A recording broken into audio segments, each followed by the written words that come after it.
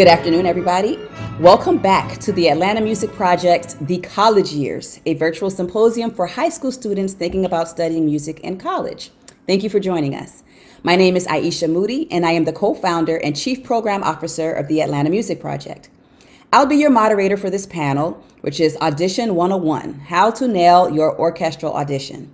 Now, for those who are meeting us for the first time, the Atlanta Music Project was founded in 2010 with the mission to empower underserved youth to realize their possibilities through music.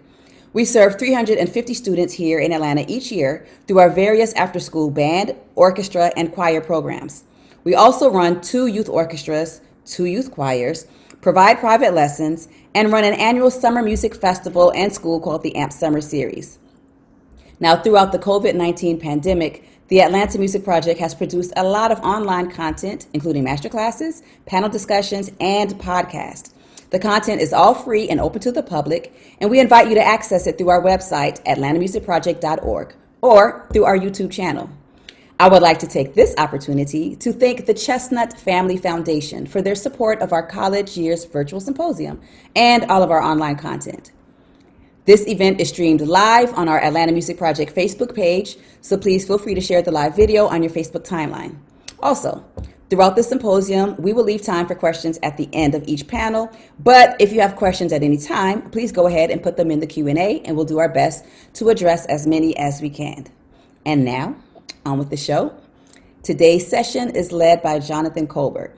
Born in Atlanta, Jonathan has had a successful international career as a double bass musician in the US and Europe. Jonathan has performed extensively in Europe, Asia, Australia, South America, and the United States. Jonathan is a graduate of the Manhattan School of Music, received a diploma from the Juilliard School, and attended Interlochen Arts uh, Camp as the Emerson Scholar for the state of Georgia. He has performed or held positions with the Atlanta Symphony, uh, Pittsburgh Symphony Orchestra, Philadelphia Orchestra, Kansas City Symphony, Hartford Symphony, Malmo Symphony Orchestra, Golden, uh, Gothenburg Symphony, uh, Orchestra, and with the Royal Danish Opera Orchestra. Jonathan has also served as the principal bass of the Sphinx Virtuosi.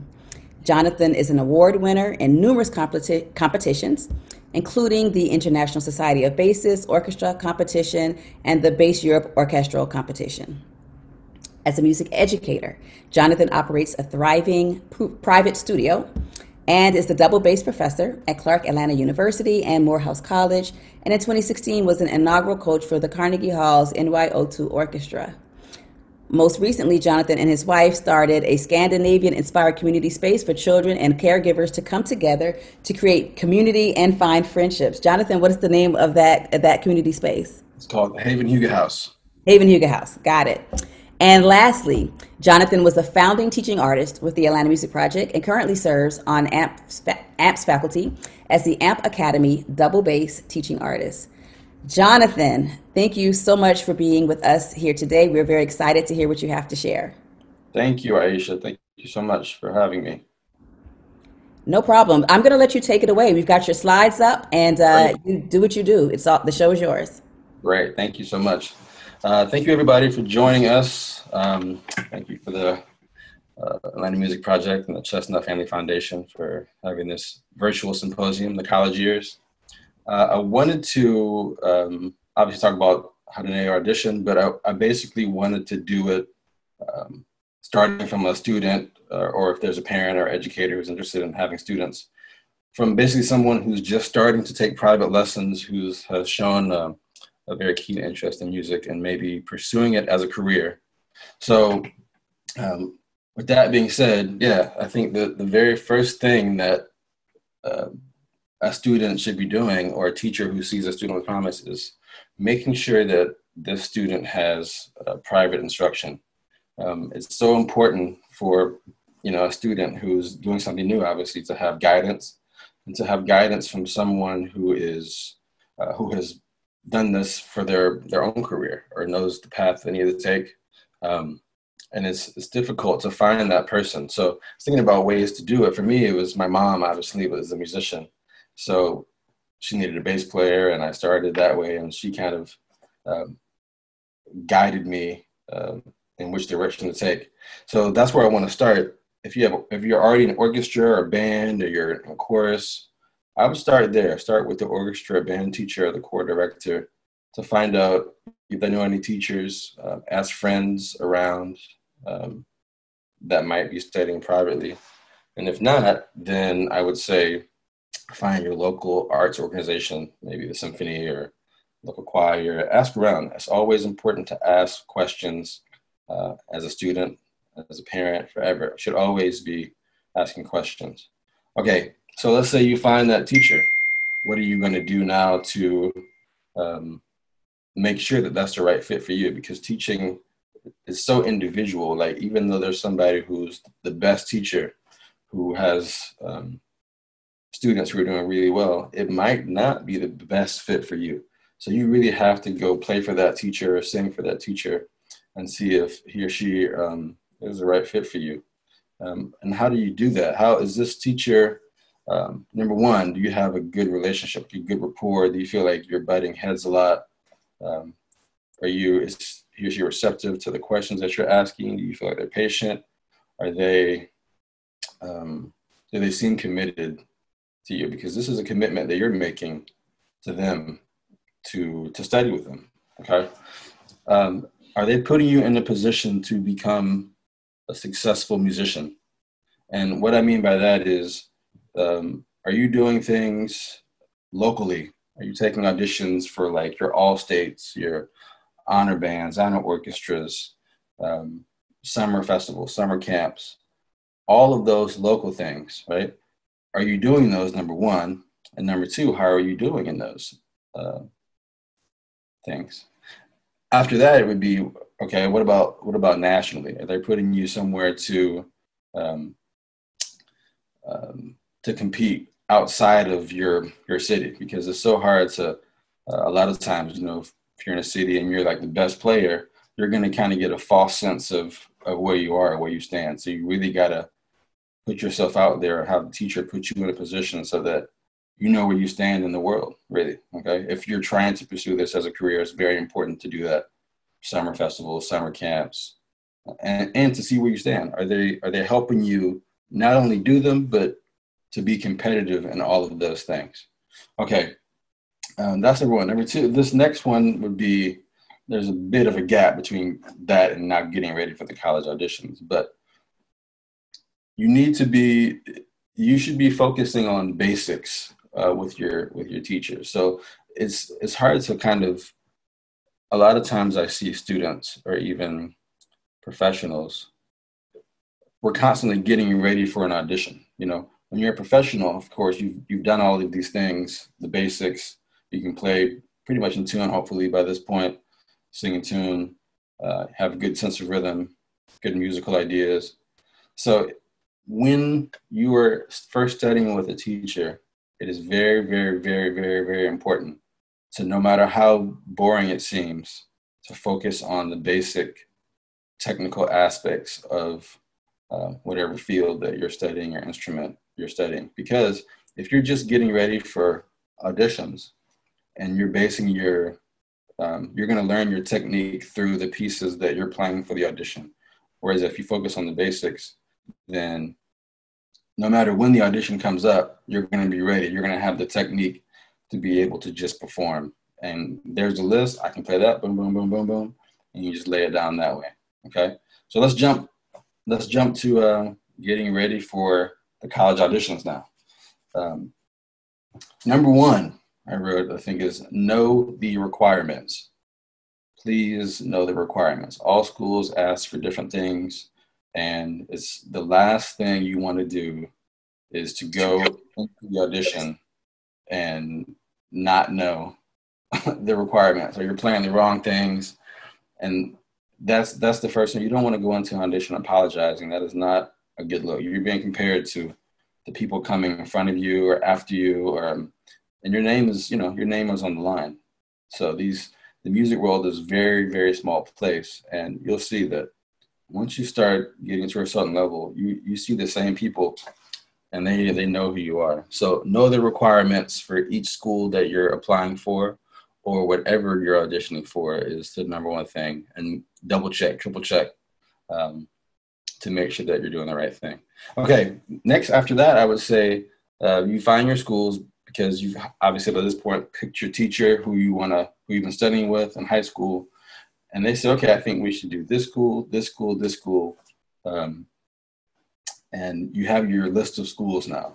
Uh, that's another thing. Like, how do you find your list of schools? Like, for each instrument, I would say there's certain schools that are have a reputation of just like you find your teacher. Like, you want to go to a school if you're pursuing this as a career, you want to go to a school that you know has a reputation of really teaching your instrument really well or having a great teacher or you know because you want to be around those people. You want to be surrounded by not only the teacher obviously but the students. Like when, when i was in school it was so important uh, and it was i learned the most i think from uh, my colleagues my the other people that were in school with me. We would always practice together play for each other uh, and when you when you hear that you're like oh man she's practicing right now. I gotta i gotta step it up you know.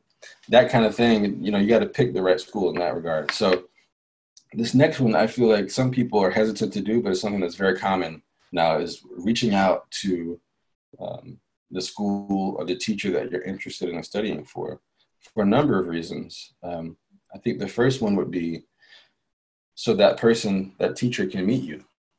So that there's you're a known entity when you come and take that audition this is a very very common thing that a lot of people might not know. It's very normal to go play for a teacher. Uh, I don't know how we're doing it now with all this stuff. You might it might even be easier. You can just play for somebody over Zoom or something. Um, and a lot of times, I think that at least for me, that audition or that um, lesson or meeting with that teacher is almost sometimes a bigger deal than um, the audition itself because there's going to be some, you know, people are going to understand that when the pressure's on the audition, they're not, people make mistakes, things happen. But for a lesson, when everything is kind of laid back, you really have a chance to show, you know, who you are and what you can do. Um, that being said, do not go take a lesson or play for somebody if you're not ready. That's wasting everybody's time, and that's not going to make you, that's not going to help you out at all, especially if that's a school that you really want to go to. Be ready for that. Be ready for, you know, that lesson, be committed for it. Okay. Having a plan and executing it. This is for practicing in general, but also for getting ready for an audition. I, this is something that I didn't learn until late. We always we always want to play our concertos, all of the things that are fun for us. You know, obviously because practicing is, you know, practicing. We're, it's it can be a tedious process sometimes. We can I think we can all agree on that. But when you have a plan, there's something about being organized in your thoughts and going into the practice room knowing I'm going to do this, this, this, this. Um, and it's so much more efficient that way. So I think that I'll just give you, and if anybody's interested, I can have a very detailed plan about how I prepare for things. But in general, I think it's important to break uh, the list down and to not just play through the same things every day.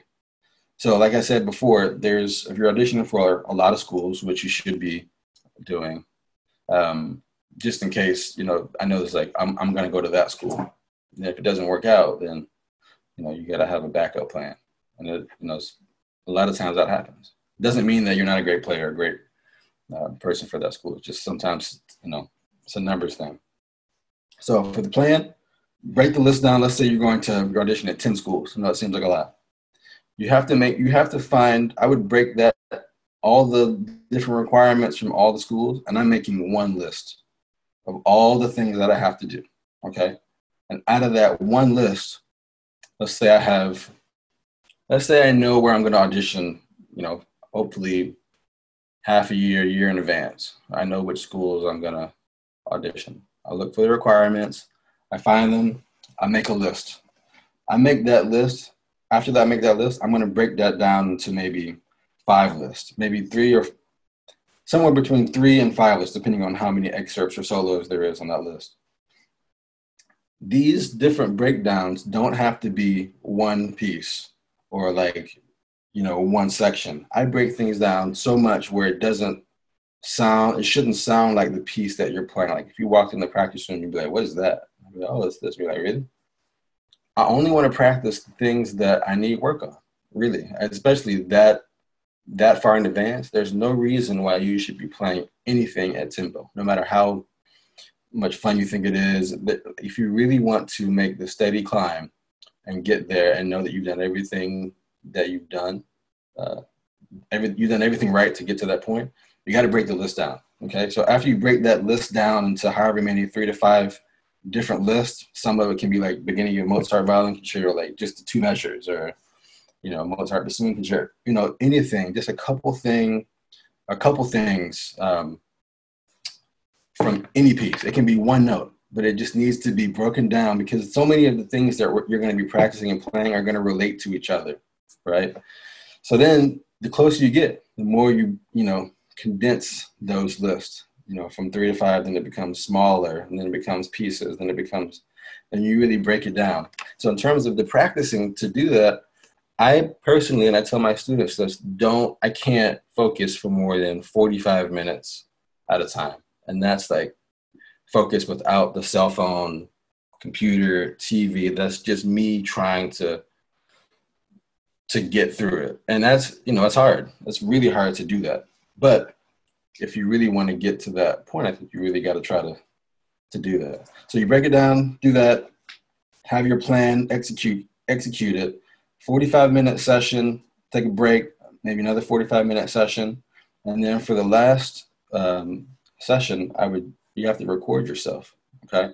And when I was talking about before, like playing with the recording or like just playing things at tempo, when you get to a certain point, you should be able to have fun now that you've done all that work. Okay, now it's time to I've broken it down, I've done it half tempo, I've done it with the drone. Now it's time at the end of a session, you say I can play it with um, a recording. Okay. After you've done that, you have maybe, I don't know, two weeks out, or no, not more than that. Let's say you have a month out from the audition. I would really start to bump up the the mock auditions, meaning playing for people. I'm not going to play for people if I'm not ready. It's the same thing like the teacher. There's no point in me playing for people if I'm not ready. The the the comments are not going to be valid. There's no need for me to do that. I'm not. They're going to be like it doesn't sound ready or whatever. So do all those steps, get to the mock audition phase, and you'll be ready. You can just focus on performance the difference between performancing performance and um, practice is so different. You cannot duplicate that. You can't be in a practice room and then just practice so hard and then maybe some people can do it, but for the most, there's some outliers for sure. But for most people, you kind of have to have um, practice runs, you know, to to see what it's going to feel like, to get nervous, to play in front of uh, other instrumentalists, play in front of your neighbors, play for people who are going to make you nervous. If you can do that, it's not going away. It is when you get to that audition, you will be nervous, and that's fine. That's just a part of it. Don't try to fight that either. There's you have to learn. We have to learn how to play with it, with the nerves, instead of trying to fight them and push them away. I think nerves are a good thing. A lot of people think they're bad. I'm, I'm so nervous. I think nerves mean that you care. Um, you really care about your performance. You really care about how you're going to present yourself, and it's it's a good thing. Um, visualize the audition, I just want to tell a quick story about someone who um, was taking a lot of auditions and was doing really well. She, um, we used to play for each other a lot in school, and she was, you know, always, always doing well.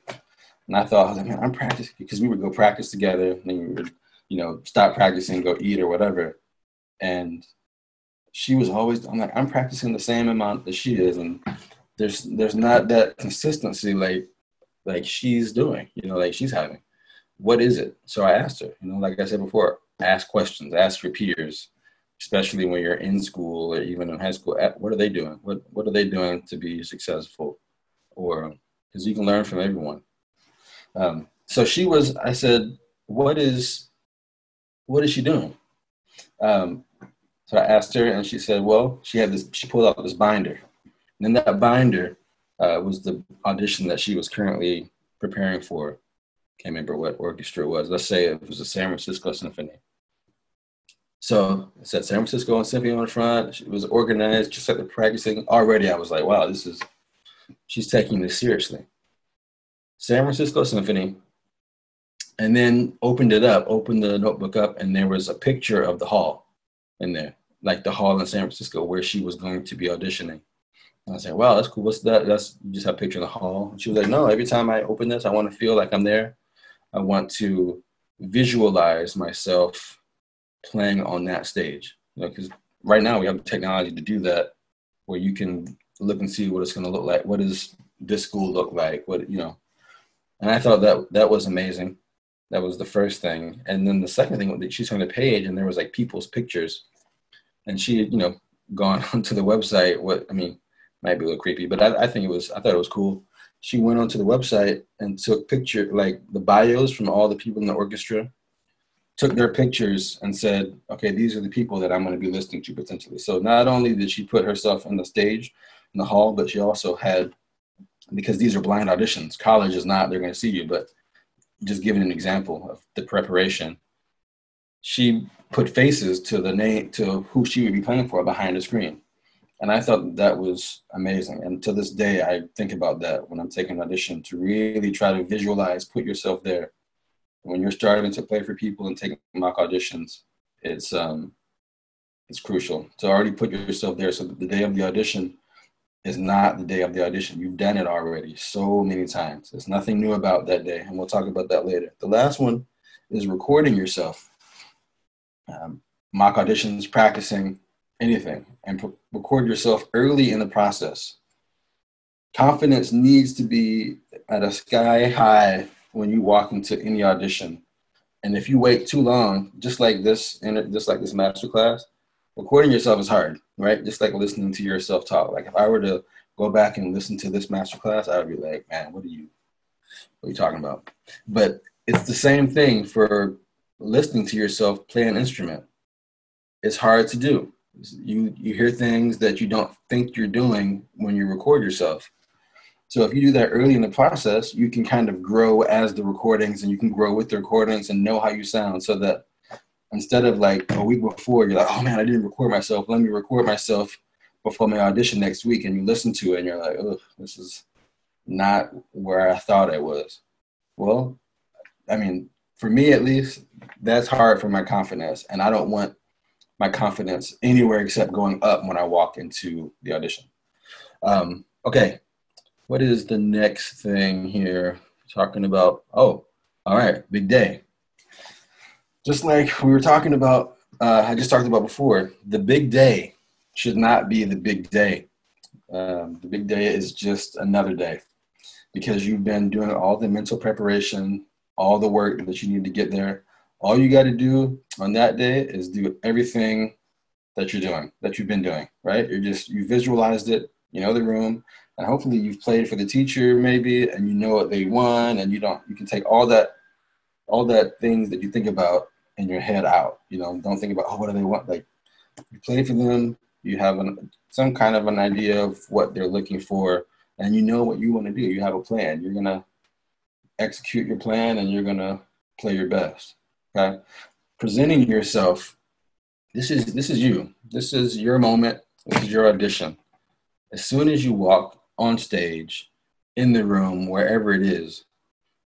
It's an audition. This that's committee. You're being judged by these people.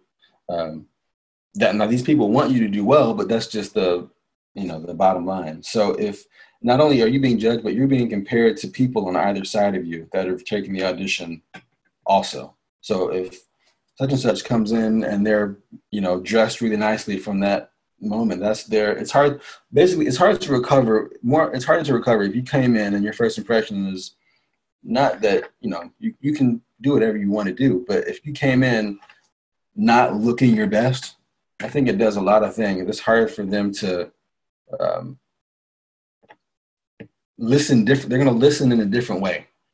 Um, and it might sound weird, but it's just the truth. They're going to listen in a different way if somebody else came in. They look nice. They're just going to think that person cares more, is more dedicated.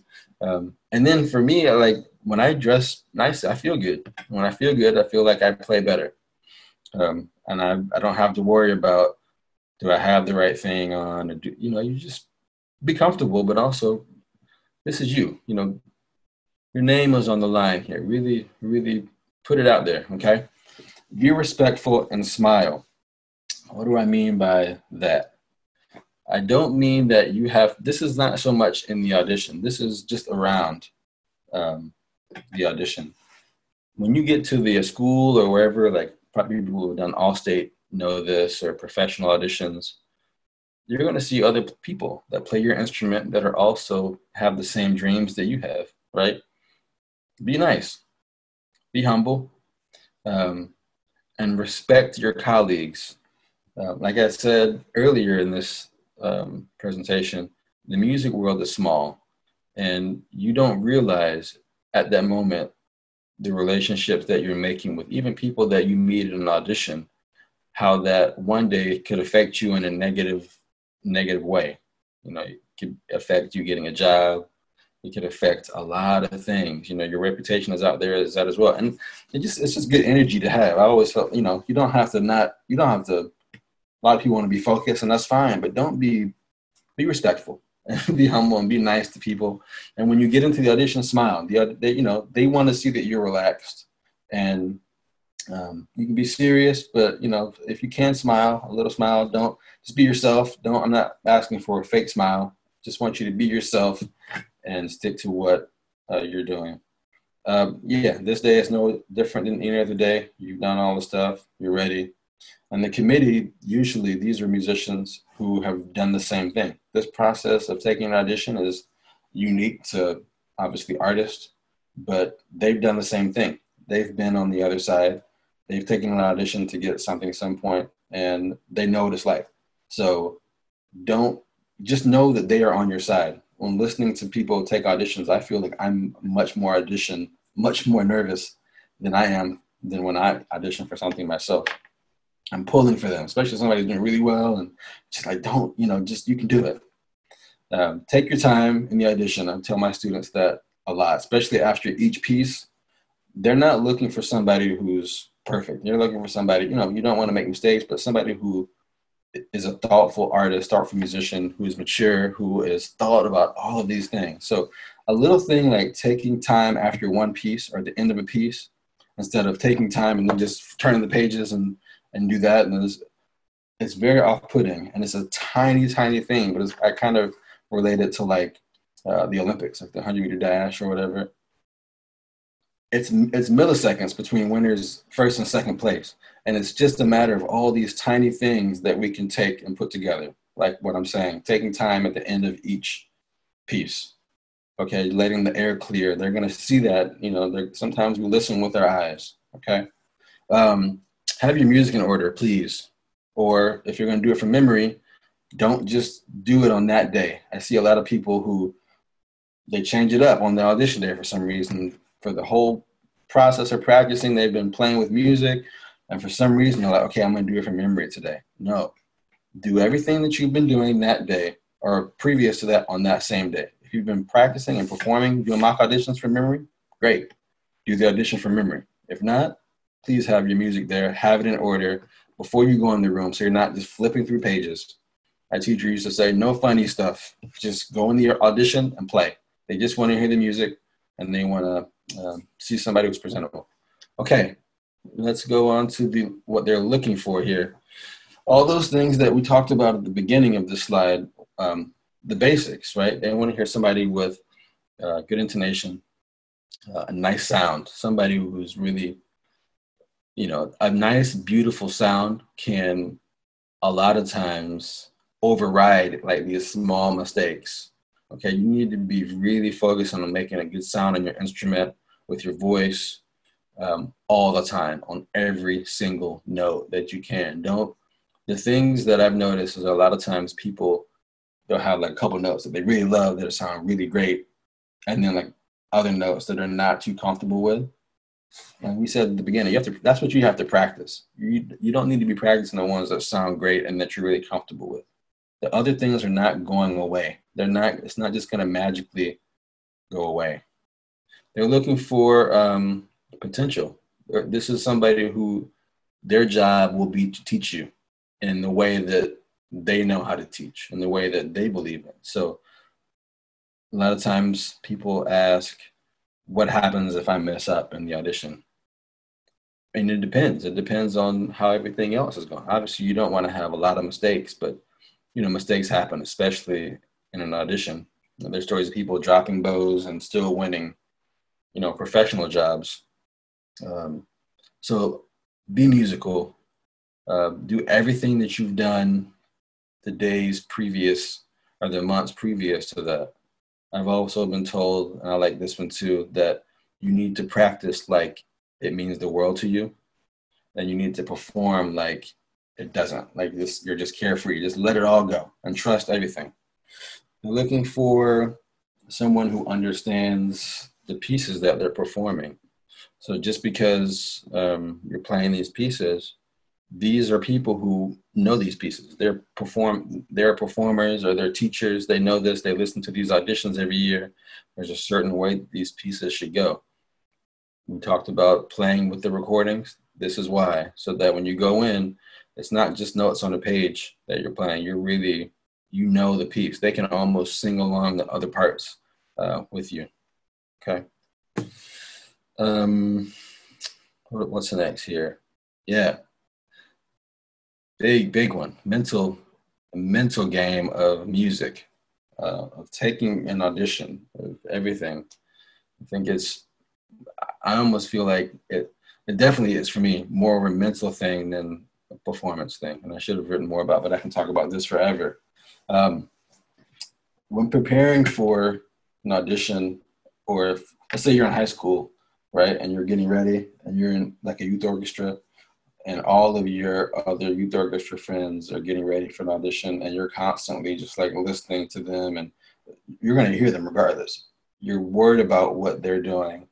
They got into this. I didn't get into this. You know this game that we play is very very normal game and it's very easy to do.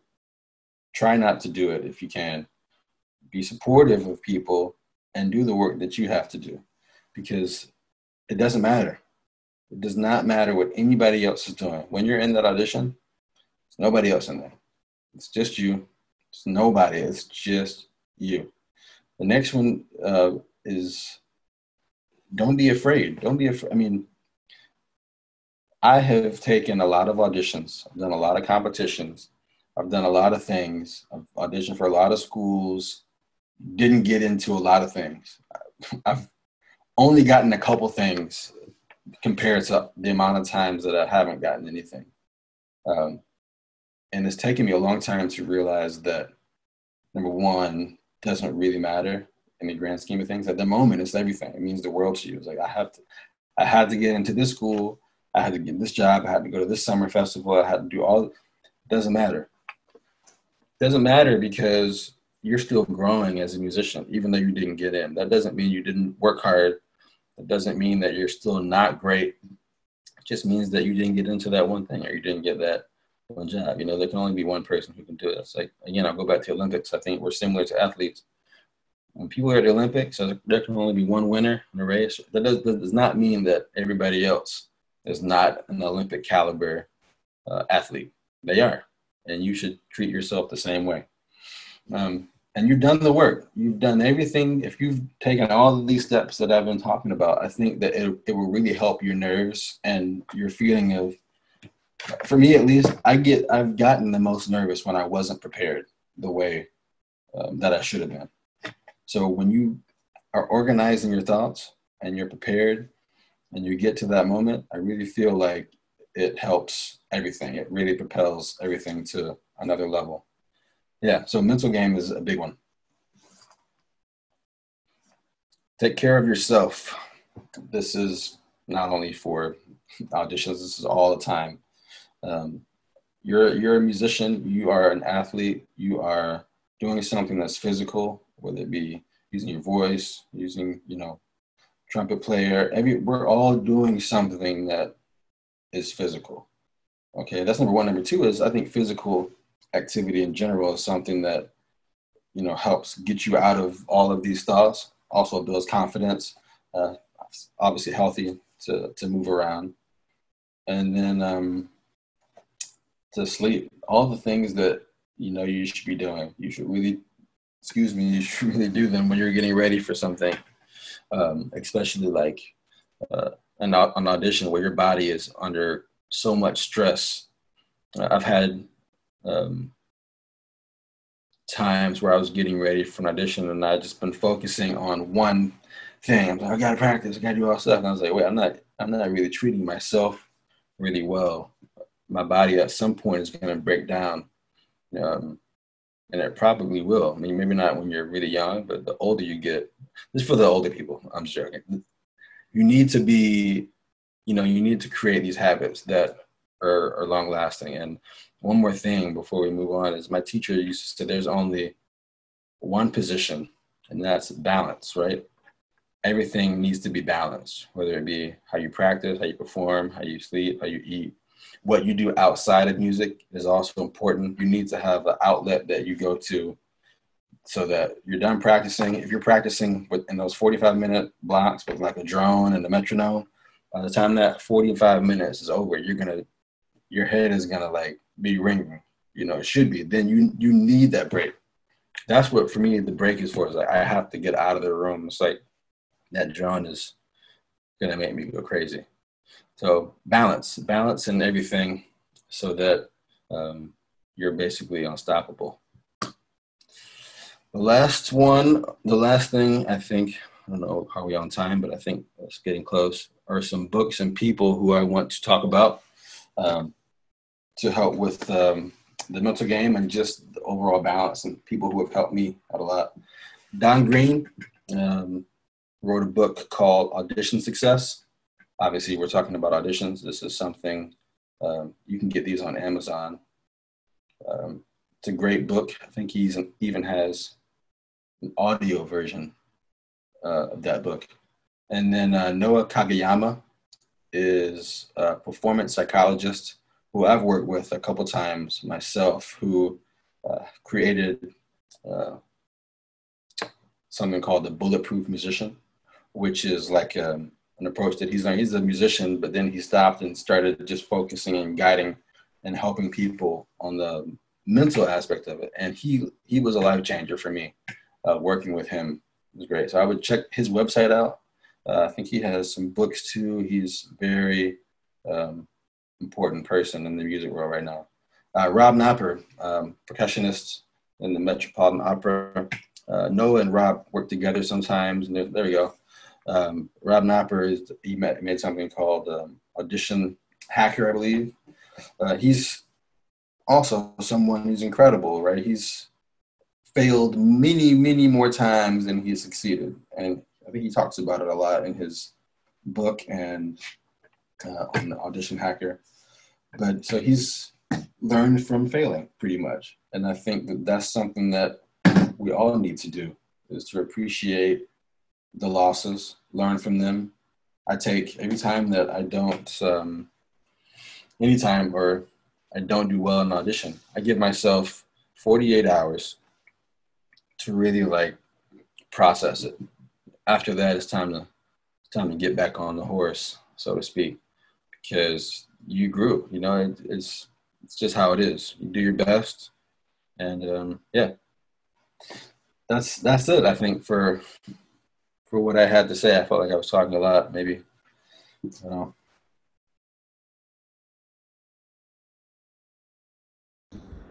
Hi, Jonathan. It's Aisha coming back on here. Hi, Aisha.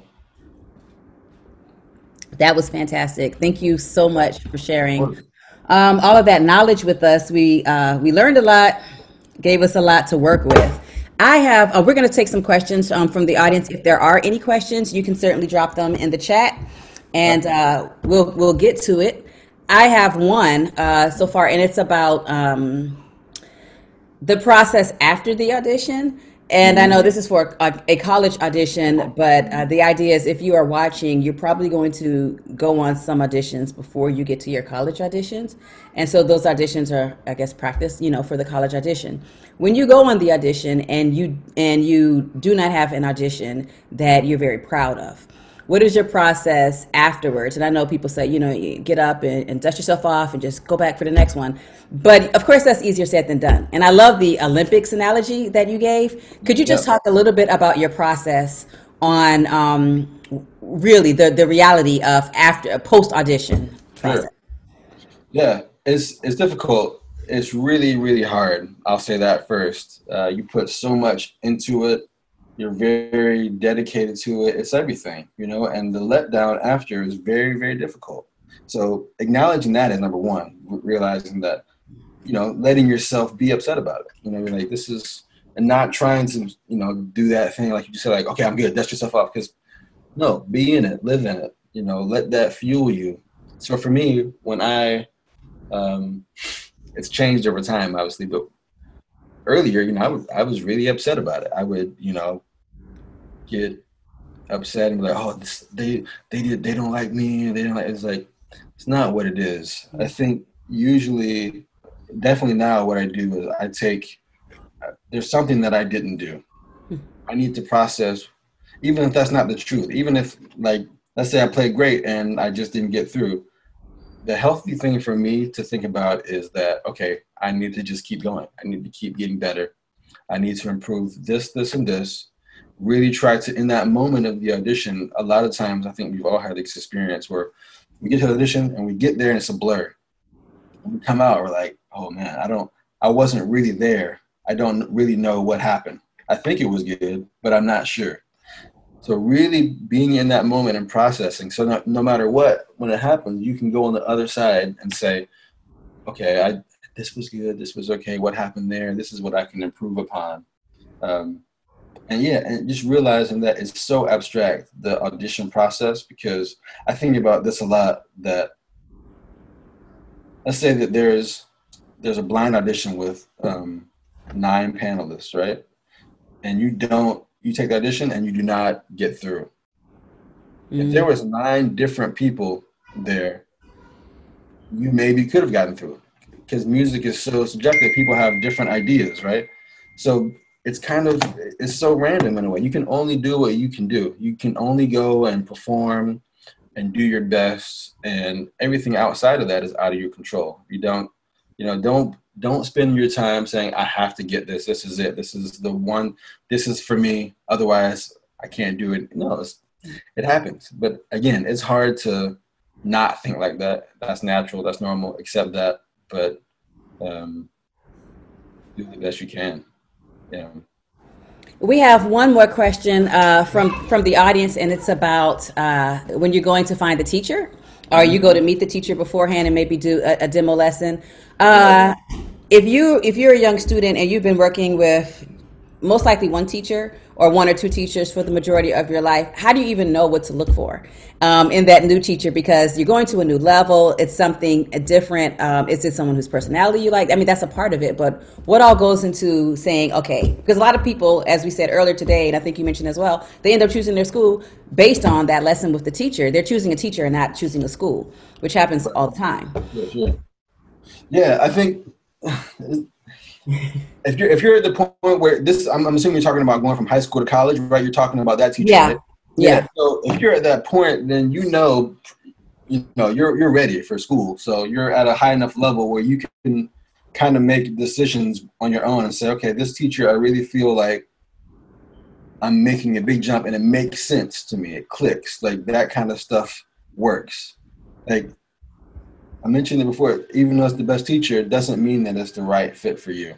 Now, to say that, you have to be open. You have to be open minded enough to say, I don't agree with this, but it might it might work. Or make them make them your own ideas. Because it's also something I think about a lot too. Any teacher that you're going to be studying with or any prefer- person you play for, the things that they're teaching you are things that they've thought of or things that other teachers their teachers have taught them or just things that they, things that they've learned over time. So mm-hmm. what i would recommend was be a sponge all the time whether it's with your peers or with other teachers. You got to take something from everybody. You got to take it from everywhere and create your own ideas. Uh, listen to your teacher of course but also i i would never recommend being like oh i'm not going to do that. Try it try it, you know, and see it might work for you. You never know. And if something, my teacher also told me this: if you're doing something that feels comfortable, usually there's no change that's going to happen, right? It's going to be uncomfortable. It's going to, you can't, you don't, you don't want a teacher who is just doing all the things that you've been doing in a way. That means that you're not really going to grow, if that makes sense.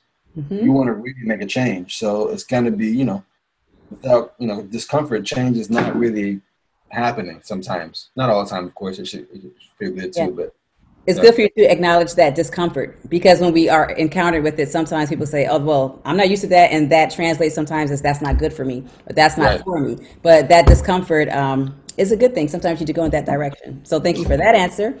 Uh, we have one from Miss Paris, and her question is, "How should I start looking for schools that fit me best for my instrument?" Okay. Well, your teacher obviously should be helping you with these things. Um, no, I think that for your instrument it depends. Like you have to be you have to the beginning of this I was I was mentioning local. How are you doing with local things?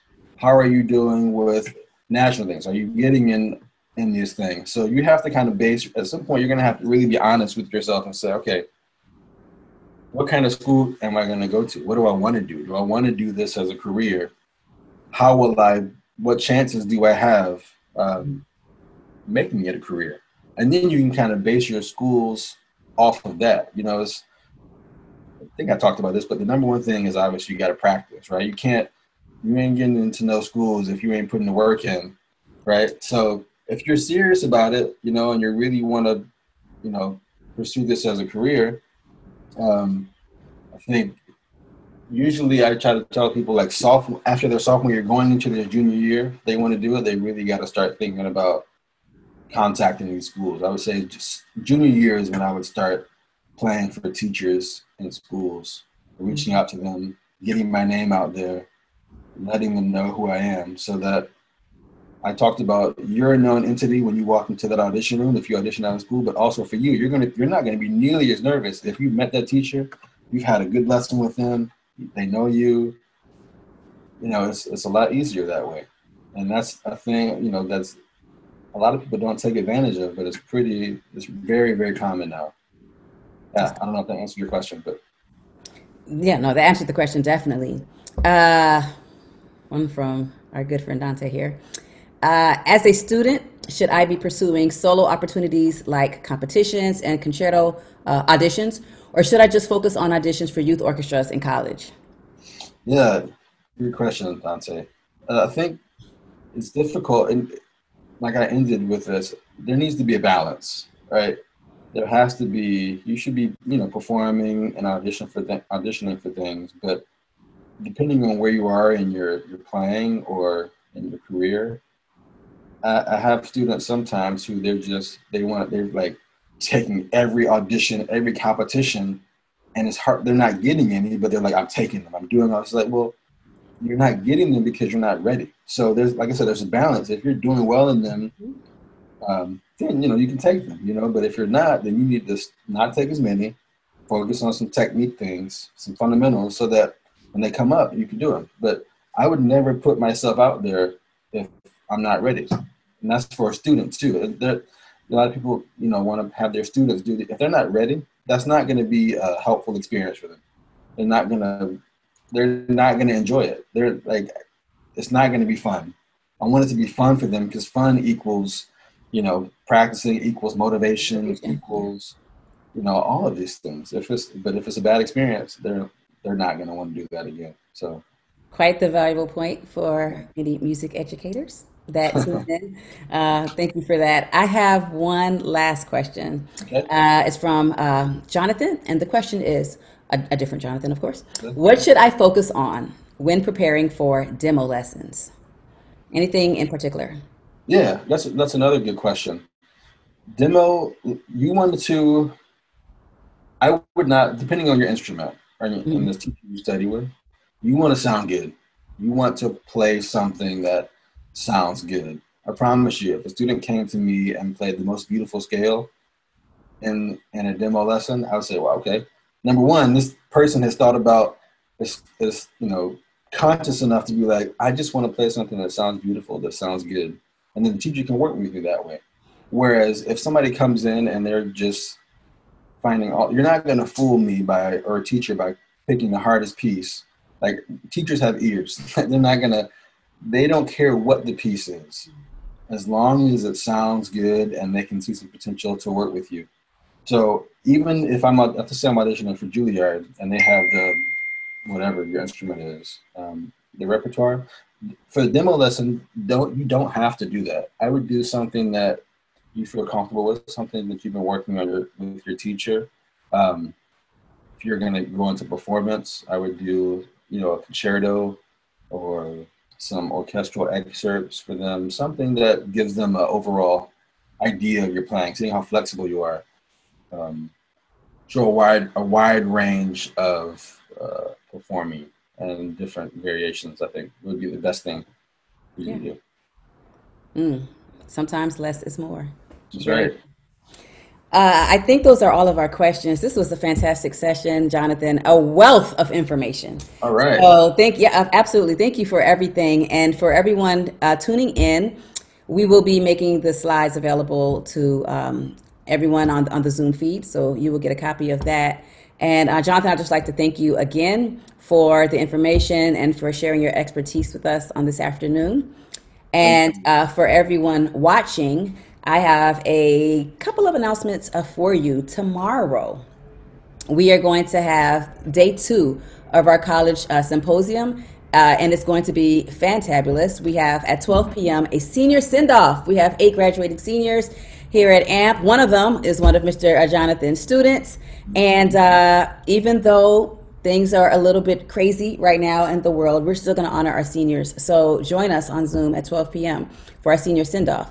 Then at 3 p.m., we talked about auditions today, how to nail the audition. The interview is also a very important part of the college admissions process. Don't just be a good player, but not know how to talk to people. That won't work so well for you. So, tomorrow at 3 p.m., we're going to do a session on how to nail your college interview. You don't want to miss that. That is going to be um, run by the Director of Diversity and Inclusion at Costco Wholesale. So, I'm sure he knows something about interview skills, um, as well as music attorney Alandis Brandis.